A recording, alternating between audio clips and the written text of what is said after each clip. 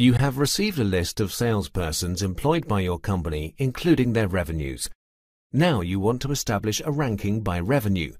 If you want to add a ranking of the cell contents to a range of cells, use the Rank EQ function. This learning module will show you how to use the Rank EQ function. To determine the ranking of a number within a group of numbers, use the Rank EQ function from the Statistics category. To have Excel determine the ranking, click on the cell where you want the results to be displayed first. Then launch the Function Wizard by clicking this button.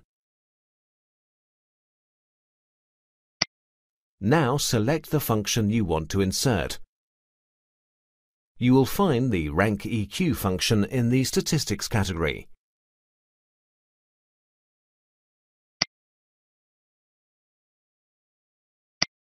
Now all functions of this category are displayed in the list.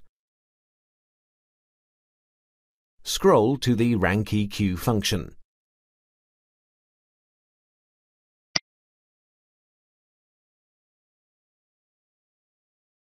Double-click the RankEQ function to select it. The RankEQ function requires the two mandatory arguments number and reference. The order argument is optional. However, you should make it your habit to always specify all three arguments. The number argument specifies for which value you want to determine the ranking. Select the value by clicking in the corresponding cell. The ref argument specifies the range of cells that you want to compare your value to. Click the ref button. Click in the first cell and then press the Control and Shift and arrow down shortcut keys to select all cells in one column. To determine the ranking for all values in the range of cells, you have to copy the function to the other cells using autofill. Since the range of cells for the ref argument is the same for all, you have to create an absolute reference. Only then can you copy your function later. You can do this easily and conveniently by pressing the F4 key. As you can see, Excel automatically inserts the dollar signs for the absolute reference.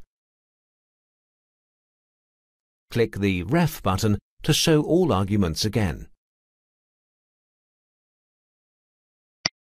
You can specify in the Order entry field how to determine the ranking. Click in the Order text field to do this. By entering 0, you define that the highest value gets the number 1 rank. Any other entry will result in the lowest value getting the number 1 rank. Confirm your entries by clicking OK. To determine the ranking of all revenues in the list, copy the formula to the other cells using the autofill function.